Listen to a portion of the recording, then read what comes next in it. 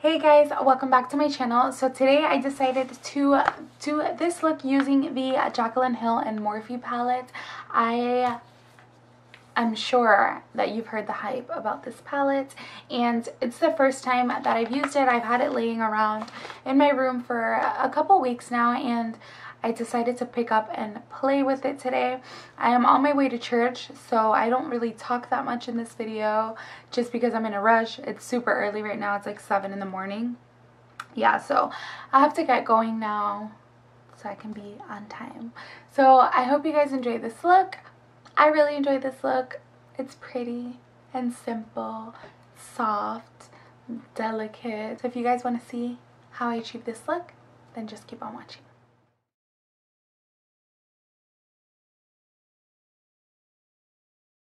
I haven't um, tried this palette yet. It's literally brand spanking new. And I've had it sitting here for a couple weeks now. And I was like, you know what? Let me try this palette. So uh, this is what the palette looks like if you guys haven't seen it yet, which I'm sure you have. And then when you open it up, these are the beautiful colors.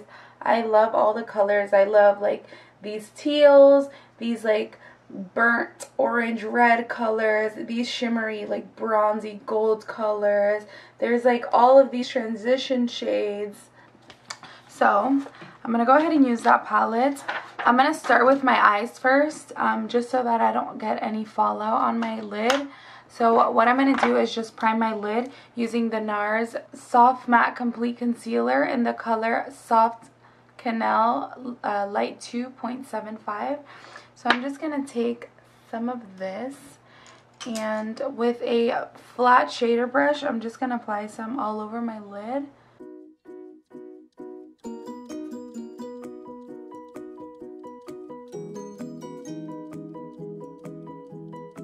So for my transition shade, I'm going to be going into the color Silk Beam, which is this soft brown here. And this is a Luxie 205 brush. It's a tapered blending brush. So I'm going to go ahead and use that and just put this color all over my crease just to do a nice transition.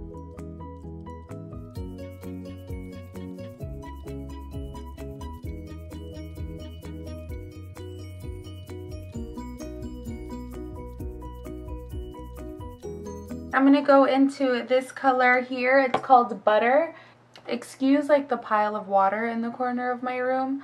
Um, my church is having an event for Thanksgiving and I'm trying to stock up on water because that's going to be what I take and we're planning on feeding a couple hundred people. So um, my goal is to have at least 100 water bottles. I have like 64 so far.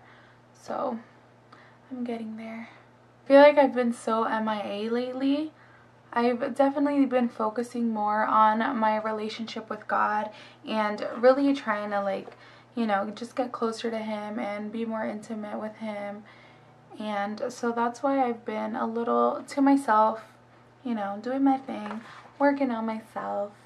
So yeah, that's what I've been doing if you're wondering where I've been. I'm not like leaving YouTube or anything. I actually really, really enjoy doing videos. It's something that like I've always watched and considered, but I'm always like, I don't know. That's kind of weird, but like, you know, I'm all for it now. All for it. Real cheese. Um, next, I'm going to go into this color right here. It's called Pooter to give my eyes, you know, more of like a gradient effect. I've been wanting this palette, but I'm like, I don't know if I want to pay for shipping because Morphe shipping is, we're playing games. Um, what do I want to do as my lid color? I don't know. I don't see like an all over the lid color that I like here. I mean, they do have, there's beautiful colors, but they're shimmery. And I didn't want to do a shimmer just because I know it's going to transfer. I'm going to take this color here. It's called MFEO. MFEO. Uh, that's going to be this like soft pink color and I'm going to try to run that all over the lid and see how that looks. I just don't want to do a shimmery look today. I'm going to use this color right here. This is Mocha. And I'm going to run that on the outer V of my eye just to give my eye some definition just because I feel like it looks like I just have one color all over.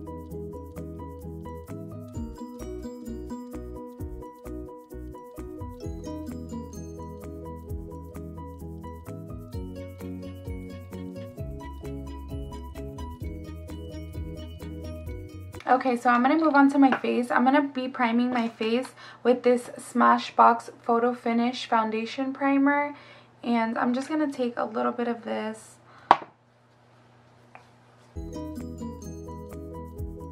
I love silicone primers, like that silicone feel. For foundation, of course, I'm using the MAC Studio Fix Fluid in the shade NC20.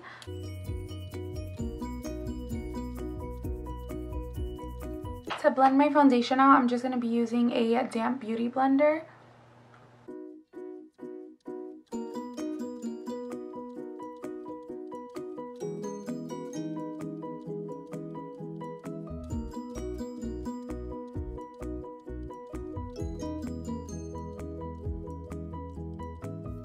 For concealer, I'm going to be using the Tarte Shape Tape Concealer in the color Light Sand and I'm just going to use this on the places that I want to conceal and or highlight. Dab some dots everywhere. And bridge up my nose tip. Just draw a tree or whatever you would like.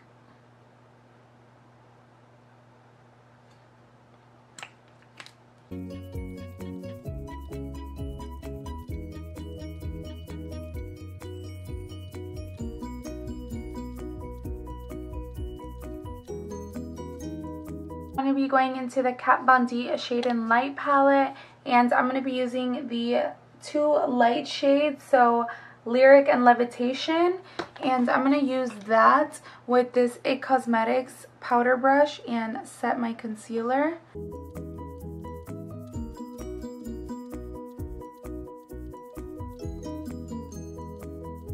Now for bronzer, I'm going to be going into my Physicians Formula Butter Bronzer in the shade light bronzer.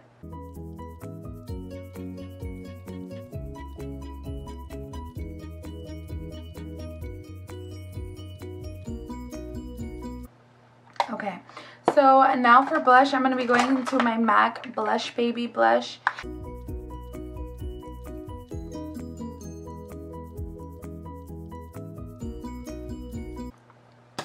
Okay, now to finish up my eyes, I'm going to be going back into the Jaclyn Hill palette and use most of the shades that I use. So I'm going to kind of stay in this little quad area and I'm going to blend those shadows out on my lower lash line.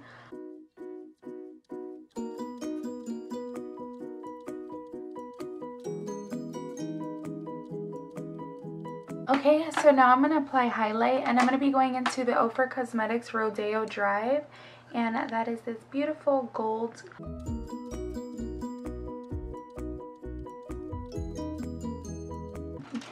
So now I'm going to do eyeliner and I'm going to be using the Kat Von D Tattoo Liner.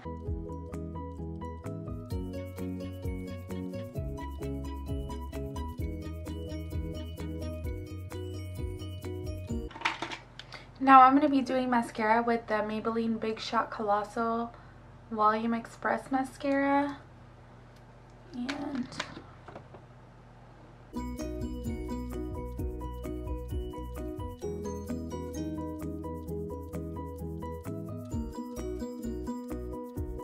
I almost forgot my inner corner highlights.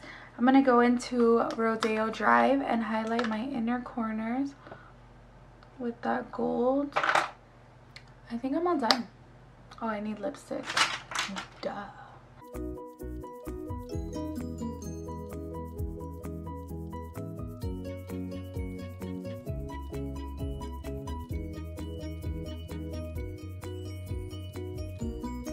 Now I'm going to set my face and I'm going to actually use the Cover FX setting spray that I got from my BoxyCharm.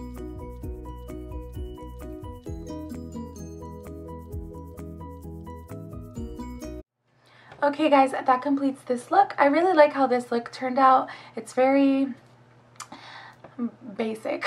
I do this look every single day. But I do like how the colors like tied together. Overall, I would say that this Jaclyn Hill and Morphe palette is a thumbs up. It's definitely a staple, I feel like, in any makeup artist collection. Even if you're not a makeup artist, you just have every color that you need in this palette. So I definitely think that it is a good palette. Um, I have to play around with it a little bit more because it was my first time using it. But I think it was a pretty good palette. The colors blended well. I look pretty. I like it. So yeah, I really enjoyed that palette and I will definitely be using uh, the other colors. I want to try like a teal look. I don't think I've ever done like a teal eye look, so maybe I'll try that soon. So uh, give this video a thumbs up if you like this video. Comment down below if you have any questions or maybe just to talk about this palette if you have it, if you want it pros and cons, just leave those comments down below. And don't forget to subscribe to my channel so that you can go ahead and be a part of the family. And if you want to turn those notification bell on, it's going to be a little bell on the bottom of this screen next to that subscribe button. Click on that bell so that every time I post a video or upload one, you are the first to know. Okay? So thank you guys so much for watching. I hope you guys enjoyed this video and I'll see you guys next time.